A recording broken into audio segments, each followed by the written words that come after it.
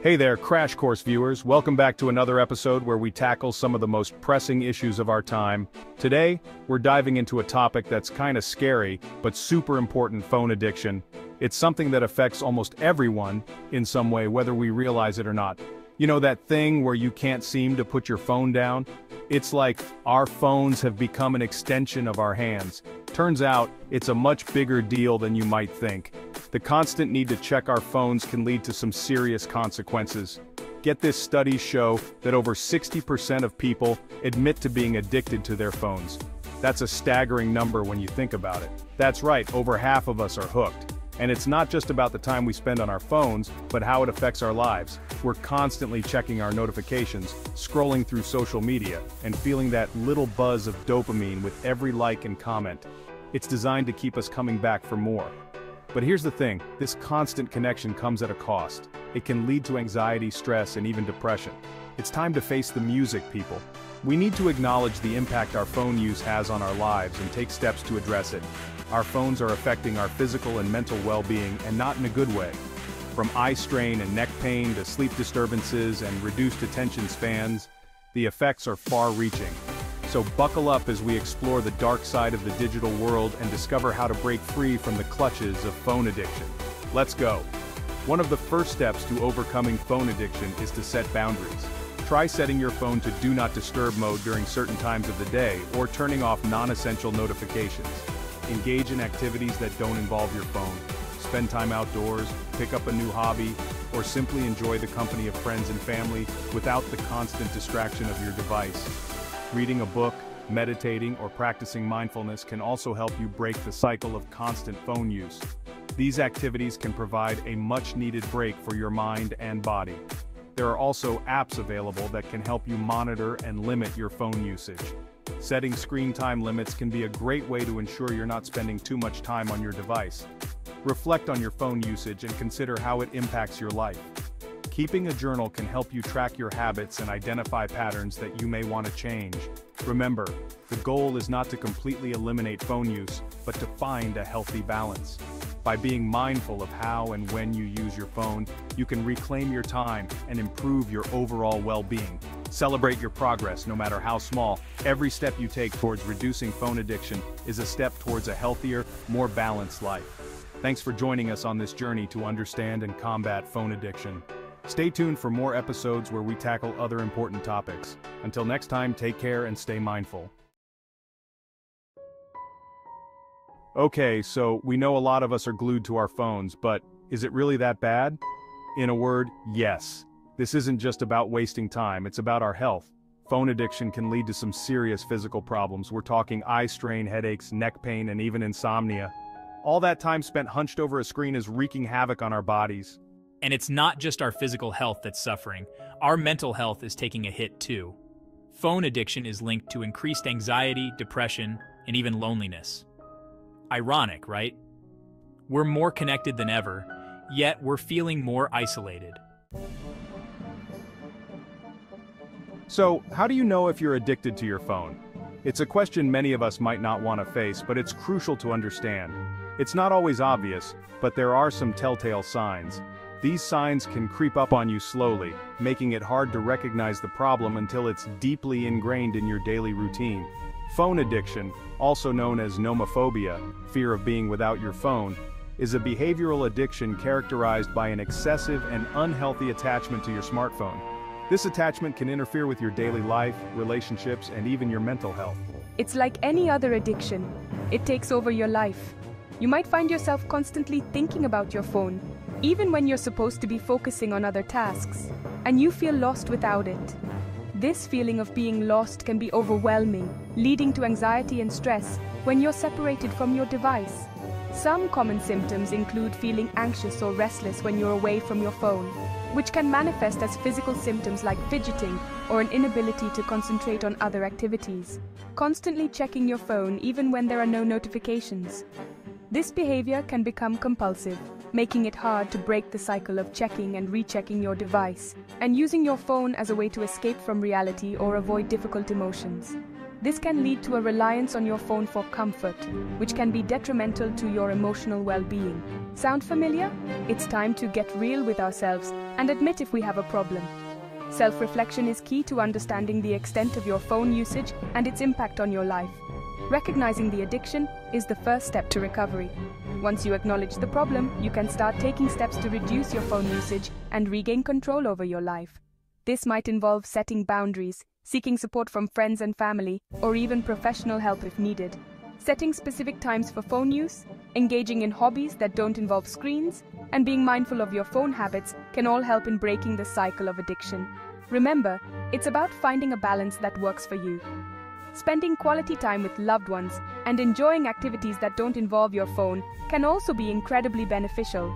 It's about reconnecting with the world around you and finding joy in the present moment. Imagine the freedom of not being tied to your phone, the liberation of living in the moment without the constant need to check your device. It's a journey worth taking, and it starts with recognizing the problem and making a conscious effort to change. Embrace the journey towards a healthier relationship with your phone. It's not about completely eliminating phone use, but about creating a balanced and mindful approach that enhances your life rather than controls it. Celebrate the small victories along the way, and remember that every step towards reducing phone addiction is a step towards a more fulfilling and present life. You have the power to take control and make positive changes. Stay hopeful and determined. Overcoming phone addiction is a challenge, but with persistence and support, you can achieve a healthier, more balanced relationship with your phone. It's time to take the first step and reclaim your life. Hash hash section 4 The psychological toll, anxiety, loneliness, and more. Let's talk about the mental impact of phone addiction. Remember that dopamine rush I mentioned earlier? Well, it's messing with our brains. Every time we get a notification or a like on social media, our brain releases dopamine, the feel good hormone. This creates a cycle of craving and reward, making it hard to put the phone down. But here's the catch the more time we spend on our phones, the more we compare ourselves to others, leading to feelings of inadequacy, anxiety, and even depression. And since we're so busy connecting online, we're neglecting our real life relationships, which can lead to loneliness and isolation. It's a vicious cycle, and it's time to break free.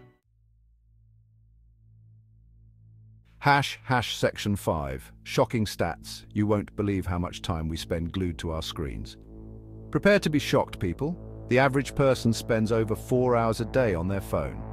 That's like watching the entire Lord of the Rings trilogy every single day. Just think of all the other things you could be doing with that time. And it gets worse. Some studies show that teenagers spend an average of seven hours a day on screens, including phones, computers and TVs. That's more time than they spend sleeping. All this screen time is having a serious impact on our sleep, our mood, and even our physical health. It's time to face the facts. We're addicted and it's time to do something about it. Hash hash section 6 Rewiring the Brain The Physical Effects of Phone Addiction. Remember how I said that phone addiction messes with our brains? Well, it's not just a figure of speech, the impact is real and measurable. Studies have shown that excessive phone use can actually lead to changes in brain structure and function. This isn't just about feeling distracted or having trouble focusing, it's about actual physical changes in the brain. For example, one study found that people who are addicted to their phones have less gray matter in the anterior cingulate cortex, a part of the brain involved in self control and emotional regulation. This reduction in gray matter can make it harder for individuals to manage their impulses and emotions effectively. The anterior cingulate cortex is crucial for decision making and emotional regulation. When this area is compromised, it can lead to a range of issues, from increased anxiety to difficulty in making sound decisions. No wonder we can't seem to put our phones down. Another study found that smartphone addiction is associated with imbalances in brain chemistry, particularly in the levels of dopamine and serotonin, two neurotransmitters that play a key role in mood, motivation, and reward. These chemical imbalances can lead to mood swings, depression, and even addiction to other substances or behaviors. Dopamine is often referred to as the feel good neurotransmitter, because it plays a significant role in how we experience pleasure. When we receive a notification or a like on social media, our brain releases a small amount of dopamine, making us feel good. Over time, we start to crave this feeling, leading to addictive behaviors. Serotonin, on the other hand, helps regulate mood and social behavior. Imbalances in serotonin levels can lead to feelings of depression and anxiety, so yeah, phone addiction is literally changing our brains. Scary, right? But understanding these changes is the first step towards addressing the problem. It's important to recognize the signs of phone addiction and take proactive steps to mitigate its effects. This could involve setting specific times for phone use, engaging in activities that don't involve screens, or even seeking professional help if necessary. Activities like meditation, spending time outdoors, and connecting with loved ones can help restore balance and improve mental well-being.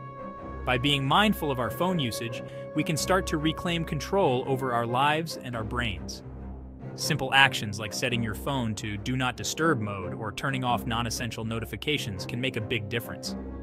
These small changes can help reduce the constant barrage of stimuli that our brains are exposed to, allowing us to focus better and feel less overwhelmed. Remember, it's not about completely eliminating phone use, but about finding a healthy balance. Engaging in hobbies, reading a book, or spending quality time with family can provide the mental break we need from our screens. Ultimately, the goal is to create a lifestyle that supports mental and emotional well-being. By understanding the physical effects of phone addiction, we can take steps to protect our brains and improve our overall quality of life.